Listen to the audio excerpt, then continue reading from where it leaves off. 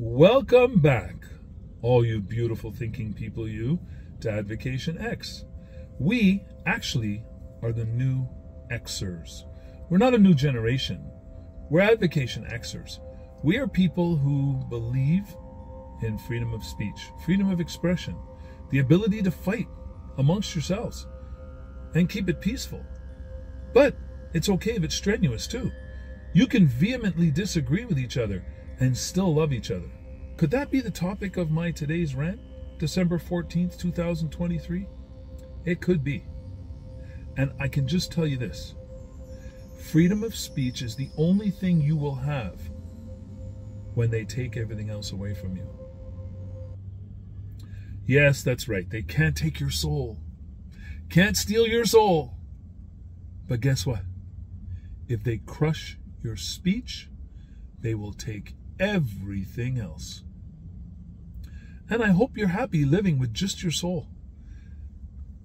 Not having the ability to say anything you'd like or to anybody you would like.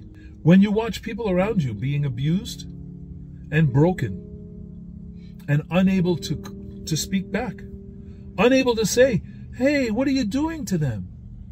Because you allowed it to happen. Freedom of speech, although you may not realize it every single minute of the day, you do not like being told when you've done something wrong, do you? But guess what? It's an integral part of being a human being who progresses and goes further in their life. If you don't hear the criticism, if you block it out, if you make sure that everybody who comes around you is bound by an agreement to say only nice things about you, you're such a sweetheart. Oh my gosh, you're great. You're fabulous. You're beautiful. You're handsome. You are so fit. You are so lovely. Oh my Lord, I've never seen a sexier soul in my life. You're destined for failure because you're going to come up against a group who are not there to feed your ego, and you're going to have to live with that. It's going to devastate you. Now, let me give you a small example.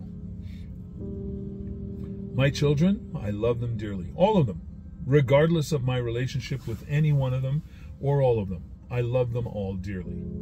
But I can tell you this some of them have grown up not knowing who they were. They were basically living a semi lie. And then reality set in, and other people around them let them know what their racial biases were. They were devastated. They were shocked. They resorted to physical violence because it bothered them so much. I understand, but it could have been avoided. Don't block out people who have dissenting information for you. That information could save your life, your future, your everything. Knowledge is power. If you live under an umbrella, you may never know it's raining. I mean, it's that simple. It is that simple. You want to protect yourself from devastation. I understand that totally. There's only so much you can take. But then you have to come back and you have to take more. That's how you grow. We all grow and progress under adversity. We don't grow in an environment where everybody says everything we do is perfect. If everything we said and everything we did and everything we are is perfect, why would people be going to school? Why would people choose different careers? Why would people choose different spouses? We'd all be after the same spouse. We'd all be after the same one house. I seriously want you to appreciate those people around you who say the uncomfortable things that you don't want to hear. I didn't say you have to like them. I didn't say you have to love them. Appreciate them. Because what they're bringing you is a point of view that may inform your point of view. It may agree, it may not. But at least you're going to have two perspectives that you can choose between which pieces and bits and parts go together well for you. For you. You can choose to just hey, look, I don't care. I'm going to listen to the narrative and it's comfortable for me because I don't have to fight with anybody and I don't have to argue. You don't have to fight or argue anyway. You don't. Seriously. You know what? I think we should go back to horse and buggy. Yeah, I can almost hear some of you right now. Some of you are laughing. Some of you are indignant. Some of you are saying things like, What is he, stupid? Is he crazy? Why would we ever go there? Well, guess what? I can make an argument for why we should go back to horse and buggy. It doesn't have to be the best argument, it doesn't have to be perfect, but it's my argument. Do you agree? Or do you not agree? Like, honestly, tell me the truth. Does my opinion matter any less than yours? There's some people out there that'll say, no, no, everybody should go on a on a one-wheeled electric scooter. And why they'll tell you? Because it's economical. It doesn't pollute the air with its fumes and exhaust and all these other things and the dripping of oils and blah blah blah. And you go, yeah, but come on. We can't all go around on one wheeled scooters. Guess what? That's an opinion.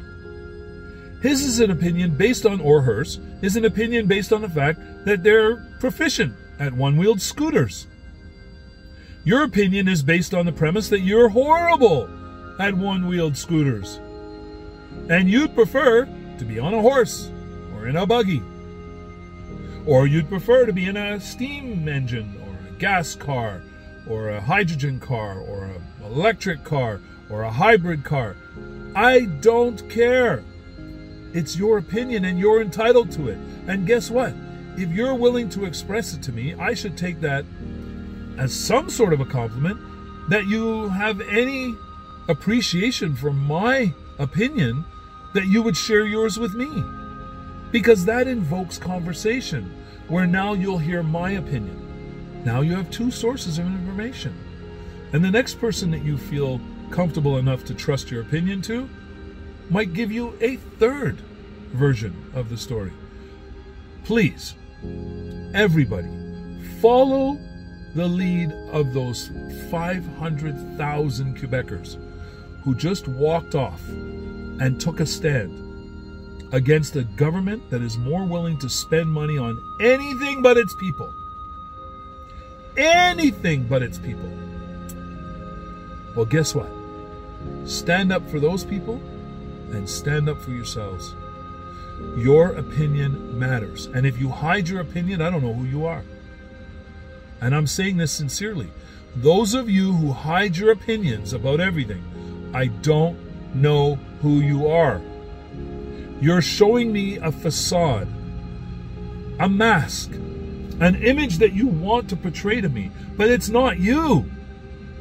When I get you behind closed doors alone and we have a conversation, you start to tell me the truth of how you really feel.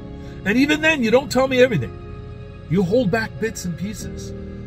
We know why we do that because in the civilized world, we do not want to cause unnecessary strife and stress.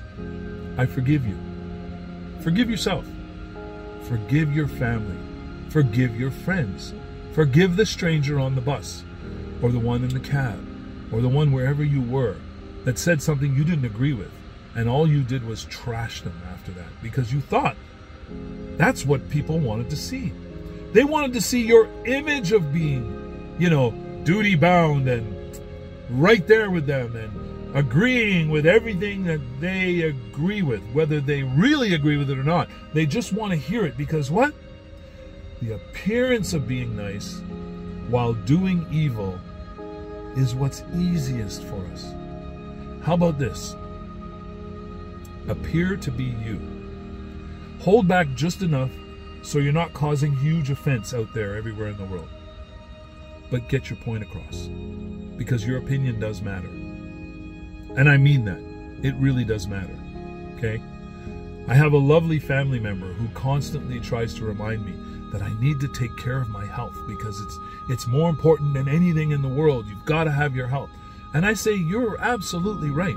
But there's some time when we have to sacrifice the chance of losing our health to help some others.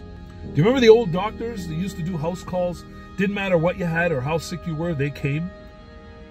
No, that's right. You probably don't remember. It's only people in and around my age group and older who mostly have all passed. Well, they remember those days if they're still around. Okay? It didn't matter if you had leprosy. It didn't matter what you had. They came and did their best to help you. Why? Because they were willing to sacrifice their own health to try to help others be better.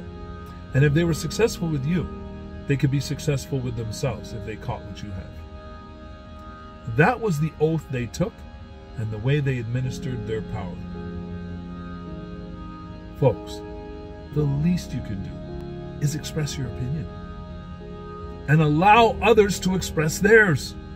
Don't shut them down. Don't make them feel like they are unworthy, like they are less than anyone else and they don't have a right to an opinion. Of course they do. Don't tell somebody they don't have the right to their own research. Of course they have a right. And that research they do just might help you. Just learn how to listen. All of you. Learn how to listen. I don't believe that I actually have to tell people this. I grew up in Montreal, where, you know what? We were all very opinionated. This is when people stood up in class and said things to the teacher about, I don't believe that. Prove it to me. Show me where that came from. And the teachers did their best to teach you. Now, if you say anything against the teachers, oh, that's it. You've hurt my feelings. I'm going to the principal. You're going to the principal too. And you're like, okay, I don't really care. Let's go. And the principal says, shame on you. You can't talk back to your teachers. And, Well, principal, I didn't talk back. I asked a question. I asked for the teacher to prove to me the lessons that we are being taught. Is that not what a teacher is supposed to do? Oh, don't talk back to me. You'll get the strap. Jeez. That was. oh, my Lord. Anyway, folks, please, please, never give up. Never give in. But always keep an open mind because knowledge is your friend. And it's the only way you're going to gather any kind of power in this world is by gathering that knowledge. So, Keep an open mind. Let the information flow in and let your information flow out. Share your ideas with it, people. And uh, do me a favor stay safe, stay healthy, and above all, stay as happy as humanly possible.